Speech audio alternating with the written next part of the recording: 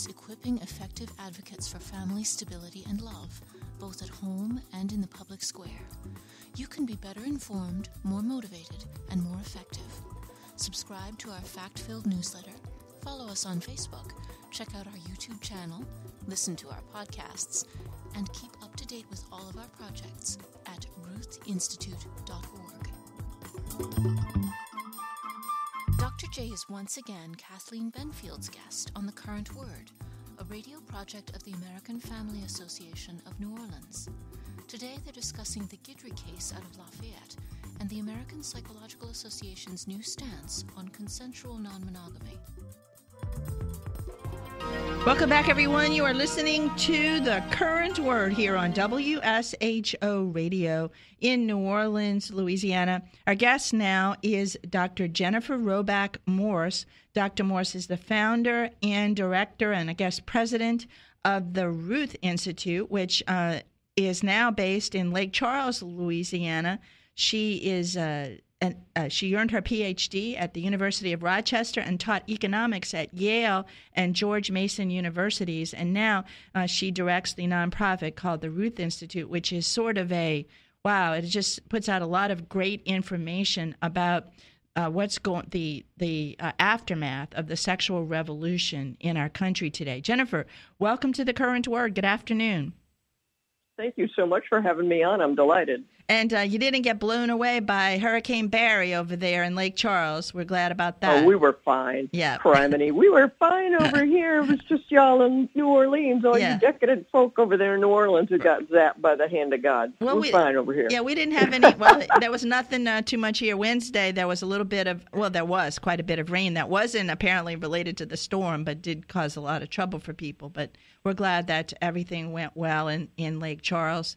And uh, Thank you. a couple of topics that we ha- I have uh, that I really wanted to talk with you about. And uh, I've already advised our listeners that some of the topics we may be discussing in the next few moments are um, kind of sensitive, and we want uh, to be aware of that. So, uh, the first one is one that, well, I receive your newsletters, which I, I would advise uh, people to go to the Ruth Institute and sign up for your newsletters because they're very, very informative. And um, uh, you have been following uh, the issue of sex abuse within the Catholic Church, and I should mention that you yourself are Catholic, and uh, That's that- right. Yes, and that you, uh, but but you have been pointing out uh, uh, some of the abuses, and uh, you've uh, been following this issue related to sex abuse within the Catholic Church. And so, uh, the latest one that you are concerned about uh, is uh, this case, and I wanted you to go ahead and just kind of explain to our listeners um, the story about that and what you have uh, found out about this well, I, case. I, I think your listeners will be especially interested because it's a case right over in Lafayette. okay. and I feel really compelled to um, to stay informed and follow it because it's right here in our backyard, Kathleen. You know, um, I mean, there's sex abuse all over the place, not only in the Catholic Church but in other churches and all across society. I mean, we just arrested Je- Jeffrey Epstein finally. You know. After years of him getting away with horrible things, but it, anyway, the the thing that's happening right here in everybody's backyard in Lafayette is a uh, a priest uh, molested a 15 year old boy, and the boy's father actually is a deacon in the church. The deacon and the priest served on the altar together. The Mhm. priest was a friend of the At family. the same par- in the same parish, basically. Oh yeah. Yeah. Oh yeah. okay. He visited their house and the whole thing, and he and he got this boy drunk. You know, I mean, he would give this boy. You know, he was grooming him. You know, with drinks and gifts and things like that. And the family, you know, it's very interesting. That family doesn't always realize what is going on right under their nose. Mhm. And in fact, uh, it was it took three years for the boy to finally tell his parents what had actually happened.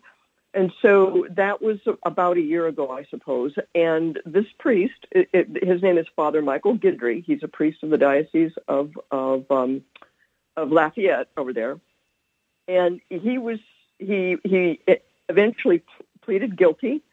He confessed.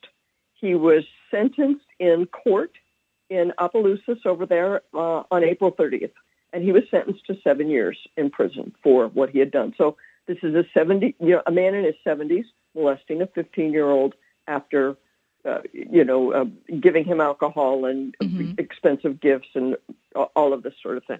So now that was April 30th, Kathleen.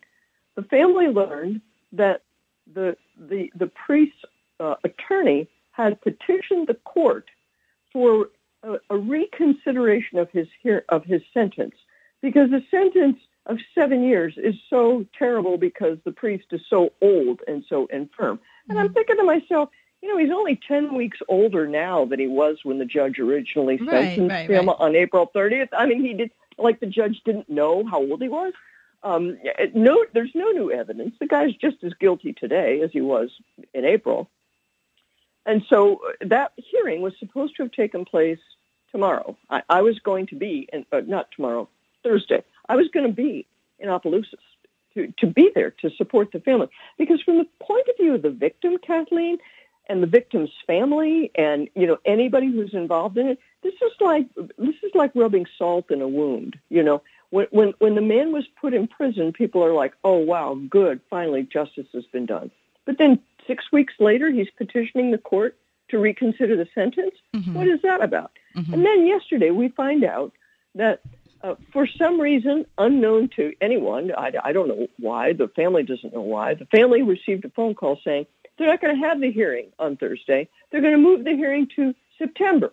And the, uh, the, the priest's attorney is going to present all this evidence about how sick he is and how old he is. Mm-hmm. And I'm thinking, you know, they have hospitals in the prison system. Right. He's not the sickest guy in the prison right, system. Right, right, What is this about? You know, I mean, it's it, it it's a kind of harassment of the family. And what I don't understand, I mean, I can understand why a narcissistic sociopathic predator might choose to do something like this. But I can't understand why the judge is is, is going along with it. it. Yeah, that's yeah, a great point. I don't get that. I don't get that. You know, so so the thing that bothers me the most about it, I mean, there are many things that bother me about this. Okay, believe me, but one of the things that bothers me is that in studying childhood sexual trauma, whether it's from a clergy or family member or anything else, talking about it is extremely painful for the victim. And and and yet they need to talk about it, but they're afraid to come forward. They're mm-hmm. ashamed. Mm-hmm. They think nobody's going to believe them, and so on. Our organization, the Ruth Institute, we did a thorough statistical analysis of the Pennsylvania grand jury report, which mm-hmm. came out about a year ago. Your listeners may remember. Right we actually took that thing and analyzed it because we're, we're, not afraid. Okay, at the Ruth Institute, we are not afraid to find out what the facts actually are. You know what we found in that report, Kathleen? The average time from that it takes somebody to report their abuse, the average lag be, between the time the abuse abuse happens and the person reports it is 28 years. Wow, that's, that's crazy. the average. That's the average. And I'm, which means some people are taking a lot longer than that, right?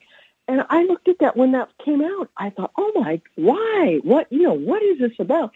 Well, now seeing what this family is going through, now I see what they're afraid of. Yeah. Now I see why victims don't come forward. And so, you know, what I would like to say to the judge in this case is, you know, when, when, when you're when you're dragging this thing out and kind of tearing the band-aid off the wound and stuff like that, it doesn't just affect this family it affects every victim out there mm-hmm. who's sitting there wondering, should I come forward or not? Mm-hmm. Every victim who's saying to themselves, you know, doggone it, I'm not going to rock the boat. I've put up with this for years. I'm going to just keep to myself. That's what you're encouraging. You know, that's what you're yeah. you're pushing them into that direction. And and uh, I'll Kathleen, I'll be doggone if I remain silent on this when it's happening in my own backyard this has gone on long enough. So, what is the answer in terms of?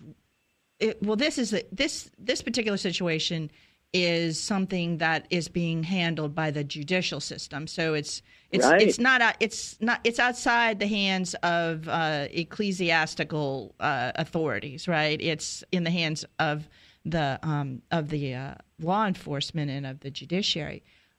Right. Yeah. So, so right now you're speaking then to law enforcement. Are you still speaking to um, the authorities within the Catholic Church as far as how they handled it?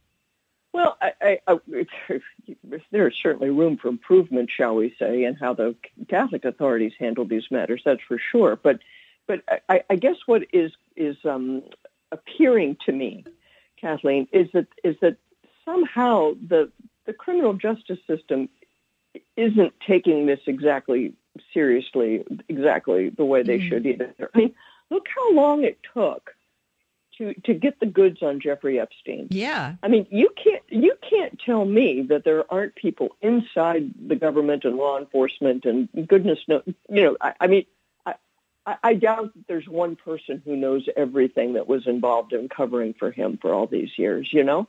But it's obvious now in retrospect that it was very extensive and it was very deep and it wasn't just one sector of society. You know, there was there are a lot of very powerful, well-connected people who, uh, in an in- interlocking manner, um, uh, uh, kept him out of trouble and and kind of kept his kept his little showboat Lolita Express uh, mm-hmm. flying. Right. And and I, I, I it's looking to me. I mean, I I don't know what this judge is thinking. Okay, I don't want to make rash accusations here. I don't know why he's doing this, and I don't know if the diocese has anything to do with Father Guidry deciding to take this step. You know, I, I don't have any way of knowing that, of course. But but the problem is when you're dealing in an environment with a lot of cover up, everybody's going to speculate. You know, that's going to be, everybody's yeah. going to just kind of, their imaginations are going to run and rumors are going to happen and gossip is going to take over. And, you know, so I, I certainly don't want to contribute to that. But, but it, it, I think, I think all authority figures, civil and ecclesial, need to understand that the, that that's part of the consequence of the cover up that a lack of transparency is going to breed a certain amount of gossip, you know.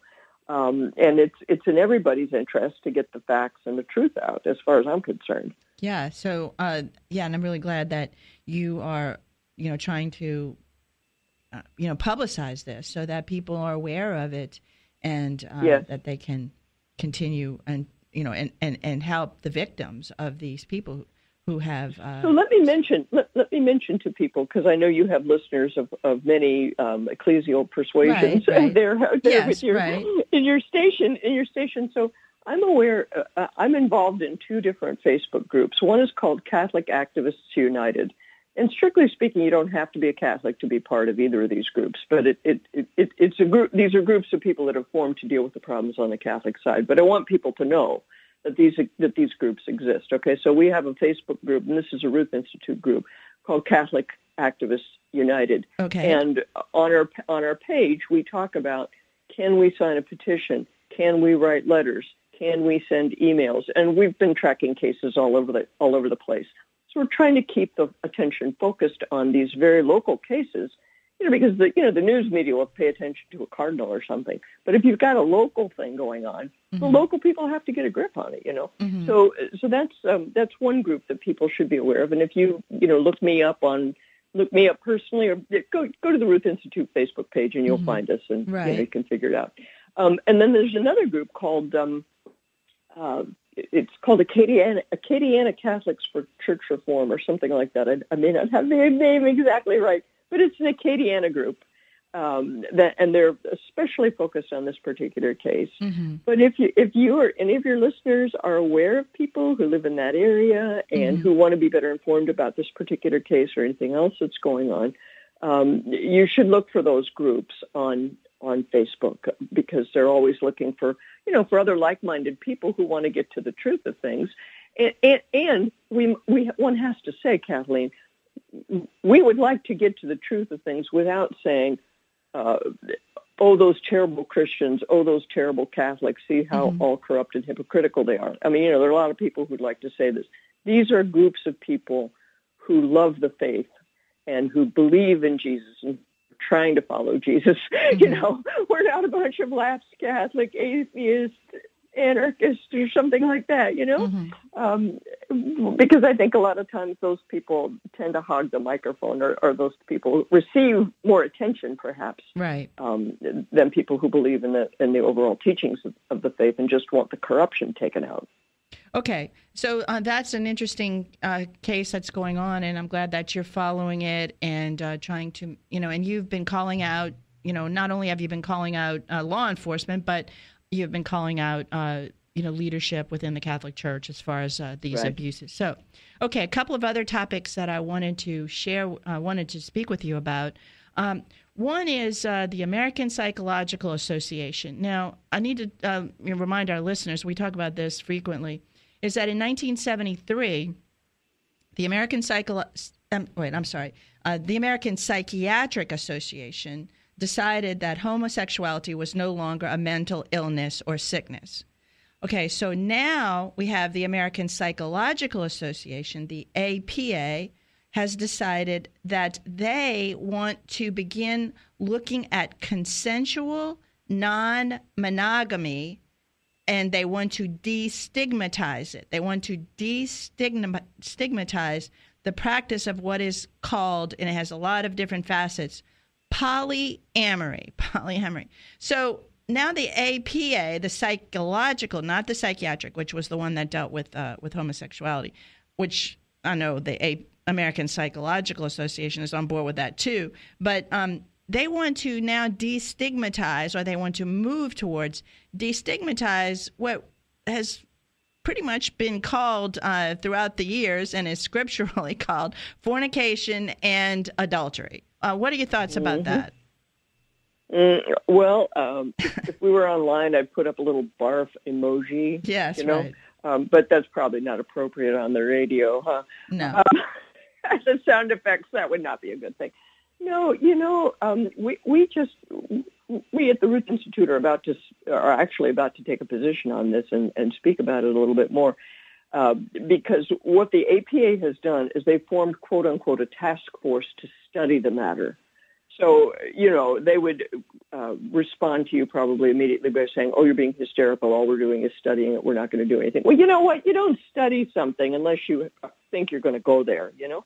yeah. Um, so, so our, our position is that the purpose of, of marriage is to provide a home for children. It's to provide a stable relationship between a mother and a father and children. And the the consensual non-monogamy people, you know, if you look at what they're saying, there is no thought whatsoever that there will ever be a child born into any of these unions, so-called unions or relationships or whatever. So uh, what we what we have gone to is a is a view of human sexuality that is completely 100% focused on adult desires right. and has no room at all for the needs of children. And and so I would just like to say to your listeners, and I'm sure this is something all of your listeners, whatever their branch of Christianity might be, I think all Christians agree with what I'm about to say, that every human person is brought into being by God as an act of love. God's participation in every person's existence is, is love. You exist because God willed your existence, because God loved you into existence. And God's plan for every human person is that we come into being through an act of love between our natural biological parents. Mm-hmm. That it is love that brings a person into being. That's God's plan. That's our view of the universe. That at the core of everything is love. That's what we think. Now, I'm proud of that view. I don't think I don't feel one bit of shame about saying that because that the and all of the things about Christianity that people scoff at and poo-poo and tell us how old-fashioned we are and so on and so forth, all of those things protect the interests of children in a stable relationship with their parents, and it protects the interests of the mother and father with a in a stable relationship with one another. So now we got the APA saying that the best thing for psychological health is for mm-hmm. people who feel the need Yeah. for multiple partners to be indulged and to Yeah. be gratified and to be endorsed and to be destigmatized. That's so now you tell me, you got somebody, you got a power imbalance inside the relationship. It doesn't matter how big the power imbalance is. The more powerful person can use that position of power to extract consent from the weaker party to say, I'm getting a second girlfriend in here, take it or leave it. Right. That's how that, that's how Epstein operated. That's how Harvey Weinstein got his sweet young things on the casting couch, and that is how polygamy has operated from time immemorial. I'm the I'm the man. I got Right. a girl. I want another girl. I got the resources. Too bad, baby. you know, Yeah. I'm taking another wife. Right, That's right. the way it works. Yeah, So so what are these crazy. people thinking? It is crazy. What are they thinking? Yeah, yeah, yeah, yeah. So, so they're not thinking about children at all, and they're not thinking about the the long term dynamic that they're setting into motion. We already know that consent doesn't work as a standard. See, they all want to say that everything's okay as long as you consent to it. But the whole point of Me Too, the whole Me Too movement, even the most secular of them now see that consent is not enough because it's too easy to manipulate it. Right. You know, it's too point. easy to say, "Oh, she consented." What, really? Right. Really? You know, um, the, e- even the most hardened uh, revolutionaries should be able to see by now that consent might be necessary condition for a good sexual relationship, but it's certainly not enough. Yeah, and once again, uh, no consideration is given to the effect that this might have on children. And, and uh, I know Yep. that Dr. Morris, here's the last uh, case I wanted to, to get your take on. So this one is just incredible. Uh, we have the case of a man who is a self identified homosexual who lived in New York with another man named Joseph. The first guy's name is Frank, the other man's name is Joseph. They lived together for four years.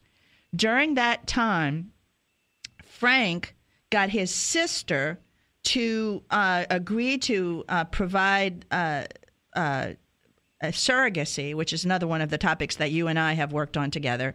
Surrogacy uh, through in vitro fertilization, so that uh, there could be twin children.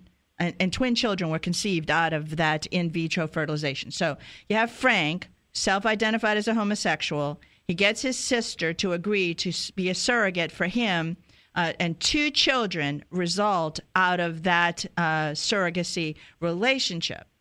Uh, the mother, the the biological mother, the carrier, as they as uh, you know, um, uh, Senator Gary Smith of Louisiana calls the person, the the woman who carries the babies, the carrier. Uh, she didn't want to have a relationship with the children. Okay, fast forward. Frank and Joseph get uh, they separate. They were I don't think they were ever married. Uh, they just uh, didn't. Their relationship ended, and as a result of that, Joseph, who has no biological relationship with the children, asked for custody of these two twins, and uh, now a, a New York court has awarded custody of the twins to Joseph because the, ruling was based on uh, the fact that the Obergefell decision, which uh, uh, allowed uh, con- uh, gave a constitutional right uh, to marriage, regardless of whether the same sex or opposite sex. It's it, and they believe that that has given expanded the definition basically of parenthood and of marriage, and basically that it's you know that it, it's not based on the biological relationship of the parent, quote unquote, to the child. Okay, so we have. Th- th- I mean, this is so convoluted in so many different ways. You've got you know two men uh, in a in a in a in a sinful relationship. Uh, then you've got this surrogacy thing, which produces children that have no, you know, real relationship with the mother uh, that bore the children. Um, I mean, it's just horrible. So this is your wheelhouse, you know, the separation of parenting and of of, of marriage uh, from uh, from children and of. Uh, you know what you were saying earlier that children have a right to know their mother, the biological mother and father, and to have a relationship with them. And this just blows it completely out of the water. So uh, go ahead and uh, and address that. Well, well. I gave you a lot I- I there. I gave you a If- lot if- to, if- to work on there. So uh, I hope that the article that uh, when you and I discussed this offline, you had given me an article written by Katie Faust that Yes. described the facts of this case, Right. and I hope you'll put that on your page. I don't, Yes. haven't had a chance to put it on the Ruth page yet, but but uh, first, shout out to Katie Faust and her organization, which is called Us Before Them. That's another really good organization for your listeners t- to know about. To follow Katie because she's a, she's a real warrior on this subject. The, the the issue is simply this: that a same-sex couple cannot have children. Okay, I mean this is just a biological fact. And during the run-up and all the debates to this is what I wanted to talk about all the time, Kathleen. I wanted to say if you redefine marriage, you will necessarily redefine parenthood. Right. Because with man woman marriage, there's a presumption of paternity. So when a baby's born, before surrogacy, before gay marriage, back in the day when common law was formed, and even when French civil law was formed, when a baby was born, the woman who bore the baby was always presumed to be the child's mother. Not not anymore. But, not know, with surrogacy. Back in the day, yeah, pretty simple. Yeah. So the the the woman who bore the child was presumed legal the legal mother, right? And the father of the child, her husband, was presumed right. to be the father. Right. right. And you know, unless she was an adulteress, that was true. You know, he was the biological father. And so marriage united children with both of their biological parents. That's what it was supposed to do. Now, fast forward, we have the idea of gay marriage, where you cannot take the rules that apply to man-woman marriage and apply them to gay marriage and get the same result. Nope. Right? Because now, and this is what happened to, to Frank here, you know, Frank thought that the fact that he, he was the biological father of these children meant that his right to his children, as long as he was not abusive, you know, that, that, that the presumption would be that he's their father and that he would have legal rights to be right. their father.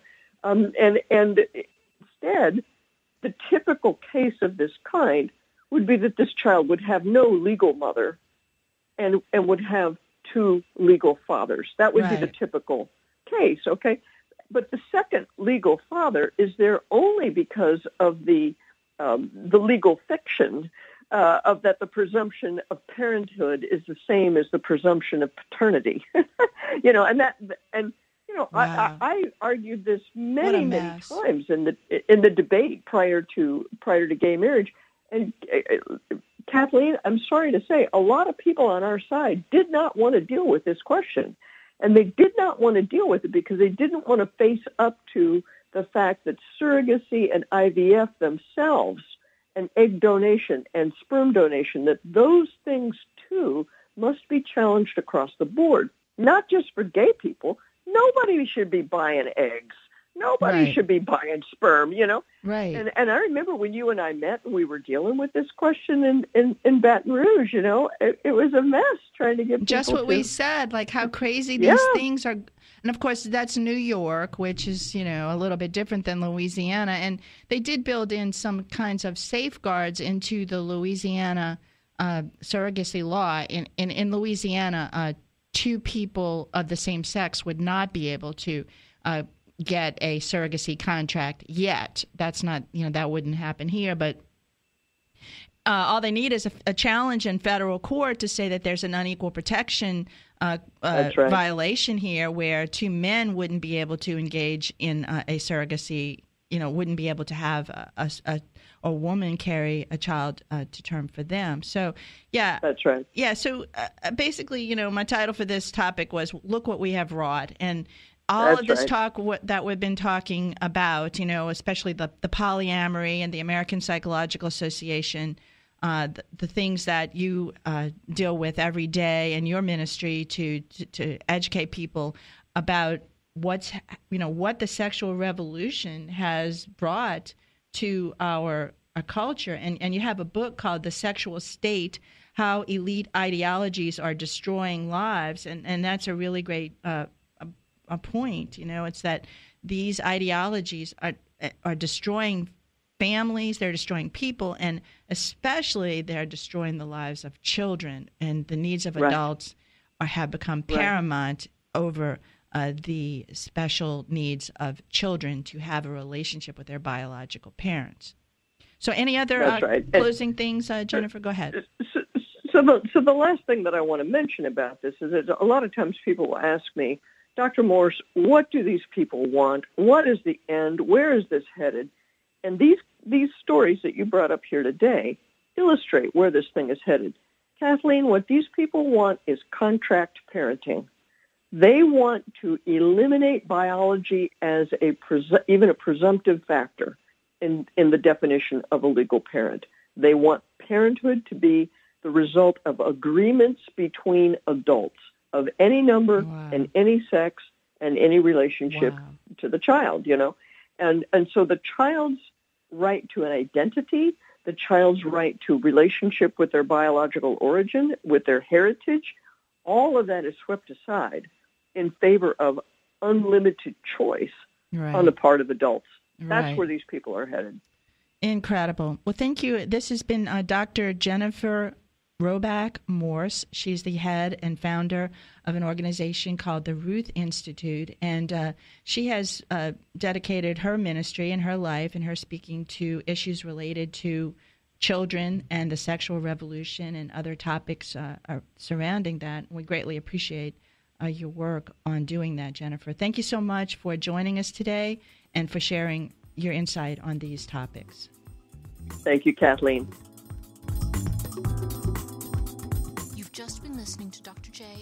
Kathleen Benfield discussing grooming, predatory sex, polygamy, consensual non monogamy, surrogacy, custody, and family.